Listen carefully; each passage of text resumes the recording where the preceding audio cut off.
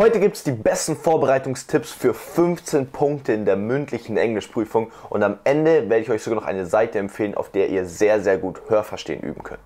Willkommen zurück, Abiturathleten. Hier ist Leo, dein Abiturcoach und unser gemeinsames Ziel ist dein Traumabiturschnitt. Ihr seht, ich sehe heute ein bisschen schicker aus, weil ich bald auf eine Messe gehe, wo ich verschiedene Schüler auch von euch treffen werde und mich ein bisschen mit allen austauschen will. Aber das ist gar nicht Thema des Videos, sondern, sondern ich habe so unfassbar viele Anfragen bekommen bezüglich mündlichen Englisch-Klausuren. Das hat mich vollkommen umgebracht. Krass. Und nachdem es scheinbar so eine große Nachfrage hat, werde ich dieses Video für euch machen. Auch viele haben mir wegen am Hörverstehen gefragt. Da werde ich auch eine sehr geile Seite am fünften Punkt äh, empfehlen. Deswegen lass uns direkt reinstarten und keine Zeit verlieren. Erstens, schwimme in der Sprache. Das ist so entscheidend. Ich meine, man hört es hier mal wieder. Ja, lese einfach ein paar mehr Sachen auf Englisch. Und das ist auch sinnvoll. Oder schau dir Serien auf Englisch an. Und das macht auch Sinn. Aber ich würde es noch ein Level höher pushen. Das heißt, versuch wirklich in der Sprache zu schwimmen. Das ist im Prinzip in deiner Vorbereitungszeit, ich würde es dir sogar fast allgemein empfehlen, dass es fast nichts mehr gibt, was auf Deutsch ist. Das bedeutet, die Videos, die du auf YouTube anschaust, Englisch. Okay, meine Videos kann ich auch auf Englisch machen, keine Ahnung, was weiß ich. Aber die Serien, die du anschaust, Englisch. Podcasts, die du anschaust, anhörst, Englisch. Wenn du dir selbst Notizen machst, Englisch. Schreib nur noch auf Englisch. Wenn du Hefteinträge verfasst, schreib doch die mal auf Englisch. Einfach, dass alles, was du machst, Englisch ist, dass es so weit kommt, dass du sogar Englisch denkst, ist bei mir mittlerweile sehr, sehr, sehr, sehr oft der Fall.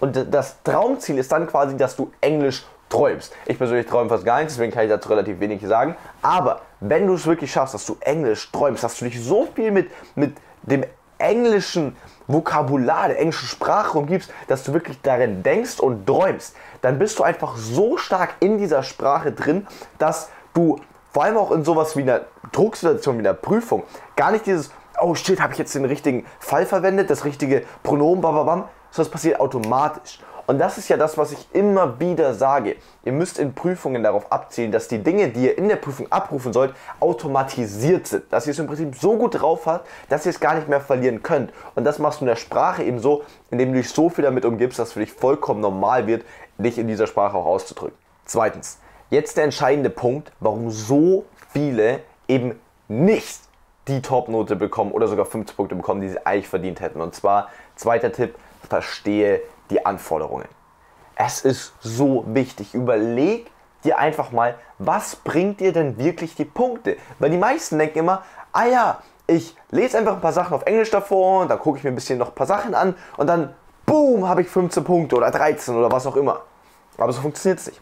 Sondern auch, auch die Bewertung ist nicht subjektiv. Klar, subjektiv ist es immer in einem gewissen Maßen, auch in der Mathe-Klausur, aber es gibt ganz konkrete Richtlinien. Es gibt einen ganz äh, normalen Erwartungshorizont, den kannst du dir für dein Bundesland einfach im Internet raussuchen, kannst du durchlesen und dir selbst nochmal die Frage stellen, bin ich denn auf diesem Level? Das geht ja meistens von 0, 1, 2, 3, 4, 5 Punkten, das wird dann meistens mal 4 oder sonst was, je nachdem wie viele Punkte es für die Aufgabe gibt, genommen. Und dann stell dir mal die Frage, bin ich wirklich schon in diesem 4, 5 Punkte Bereich? Oder ist es eher drei? Habe ich teilweise vielleicht auch zwei Punkte? Ich denke, das ist mehr so, okay, sind noch Lücken mal im Satzbau. Wie ist es bei dir? Und dann überleg dir ganz konkret, sowohl inhaltlich als auch Sprache, so wird das ja immer aufgeteilt, wo muss ich mich noch verbessern? Und das ist super, super wichtig. Und das Ziel ist im Prinzip hier, dass du durch Tipp 1, also dass du so stark in der Sprache schwimmst, die Sprachen, den Sprachenteil so gut drauf hast, dass du dich in der Klausur dann voll auf den Inhalt konzentrieren kannst.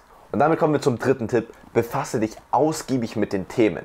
Und die Betonung liegt hier ganz klar auf ausgiebig. Du musst sie im Prinzip wirklich lieben. Auch wenn es vielleicht nicht dein absolutes Wunschthema ist, versuch dich wirklich extrem dafür zu interessieren. Schau dir alle möglichen Sachen an, recherchiere im Internet und so weiter. Weil gerade in der mündlichen Prüfung ist es ja so, oder auch wenn du in der schriftlichen was ausschreiben sollst für diejenigen, die wegen am Hörverstehen bei dem Video sind.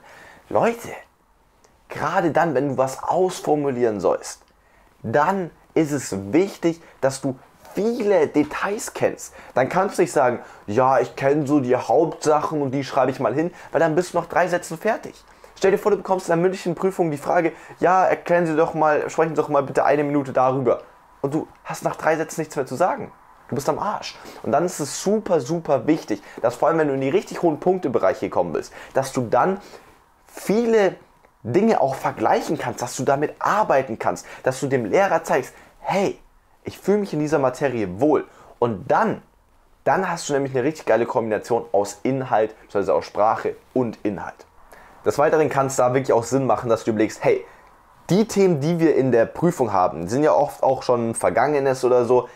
Wie kann man das mit aktuellen Ereignissen kontrastieren? Weil solche Fragen werden sehr, sehr oft gestellt. Deswegen habt das auch auf jeden Fall im Hintergrund, da vielleicht wichtige aktuelle Ereignisse auch parat zu haben. Aber gehen wir direkt zu Tipp 4 über. Und zwar Sprache ist Kunst. Und das ist jetzt nämlich genau der Punkt, wo alle denken, oh, ich hab's ja schon, ich kann es ganz gut sprechen, kann mich da ganz gut ausdrücken und die Inhalte verstehe ich auch einigermaßen, dann sollte es ja alles passen. Aber das ist genau der Denkfehler für alle, die wirklich die absoluten Top-Noten erreichen wollen. Weil, wenn du, wenn du wirklich dahin kommen möchtest, das ist dann ein Bereich, wo du mit der Sprache spielen musst. Das bedeutet, sowohl Sprache als auch Inhalt muss die Basis sein. Du musst dich in der Sprache vollkommen wohlfühlen, sich sehr gut ausdrücken können und gleichzeitig die inhaltlichen Komponenten alle sehr gut drauf haben und dich auch dadurch, dass du dich tiefer eingearbeitet hast, wie eben in Tipp 2, bis Tipp 3 war es, glaube ich, dass du da wirklich dann das einfach da jede Ecke kennst. Weil wenn du die beiden Komponenten hast, dann kannst du es zur Kunst werden lassen. Das bedeutet, es geht nicht mehr darum, oh, kann ich da in der einen Minute jetzt genug sagen, sondern es geht darum, ah, klar, ich weiß, was ich sagen möchte und ich weiß, wie ich es ausdrücke. Jetzt geht es nur darum, wie kann ich es möglichst elegant, möglichst strukturiert, möglichst smart, möglichst anschaulich darstellen. Das sind dann Gedanken und die machen dann über 13, 14, 15 Punkte aus. Und dann zu guter Letzt fünftens, Hörverstehen üben, habe ich euch ja auch noch versprochen, dass es das in diesem Video geben wird. Und zwar habe ich ein bisschen für euch recherchiert, hey, was gibt es denn da? Klar, man kriegt vielleicht im Unterricht mal 1, 2, 3, 4 Hörverstehen, die man machen kann. Aber wenn man es richtig geil üben will, und ich kann euch nur empfehlen, übt Hörverstehen, Hörverstehen, Hörverstehen, weil es macht ihr ja sonst fast gar nicht. Ja, sprechen und so weiter machst du immer, aber wirklich einen Text hören und dann zu versuchen, daraus Fragen zu beantworten, diese, dieses Aufgabenformat hast du nie. Außer halt kurz vor der Vorbereitung im Unterricht. Deswegen unbedingt checkt mal Spotlight-Online ab. Ich werde es auch in der äh, Beschreibung verlinken. Keine Sorge, ich kriege von kein Geld oder sonst irgendwas. Ich habe gerade einfach nur vorhin recherchiert, hey, was gibt es da, um für euch einfach da den möglichst, möglichst großen Value zu haben und nicht einfach nur zu sagen, yay, übt Hörverstehen. Dann denk du dir, oder denkst du dir, ja, toll, lieber, aber wie soll ich Hörverstehen üben? Deswegen will ich mit konkreten, ganz konkreten Tipps. Klickt den Link unten in der Beschreibung. Da könnt ihr das Ganze üben. Das ist wirklich echt geil. Das ist irgendwie so zwei, zweieinhalb Minuten immer, wo du, keine Ahnung, du hast halt so ein richtig typisches Hörverstehen-Ding und dann kriegst du, gibt es manche Komponenten richtig viele, wo es gar keine Fragen gibt. Da kannst du halt beispielsweise einfach nur selbst danach versuchen, alles aufzuschreiben, wie du es verstanden hast. Und es gibt wirklich auch Aufgaben, wo du ähm, einfach genau zu dem Text, den du gehört hast, konkrete Aufgaben hast, ähnlich wie du es in deiner Klausur hättest. Und das ist halt mega, mega geil, um das zu üben. Deswegen macht da unbedingt alle durch. Ich glaube, das ist unfassbar wertvoll.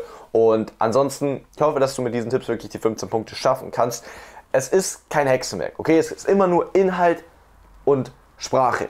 Und Inhalt meisterst du eben, um dich viel, indem du dich viel mit den Fächern, äh, mit den Themen beschäftigst und Sprache dadurch, dass du sie möglichst viel verwendest, hörst, konsumierst und so weiter. Und wenn das beides dann fusionierst und dann lernst damit richtig, richtig gut umzugehen, dann steht dir wirklich nichts mehr im Weg. Aber sei dir wirklich bewusst, worauf es in der Klausur ankommt. Und zwar auf die Anforderungen und nicht darauf, was du sagen willst.